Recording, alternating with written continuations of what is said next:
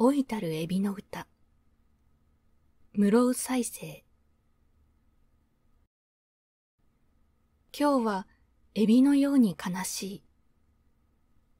角やら、髭やら、トゲやら、いっぱい生やしているが、どれが悲しがっているのかわからない。髭に尋ねてみれば、俺ではないという。尖ったトゲに聞いてみたら、わしでもないという。それでは、一体誰が悲しがっているのか。誰に聞いてみても、さっぱりわからない。生きて畳を這うているエセエビ一匹。体中が悲しいのだ。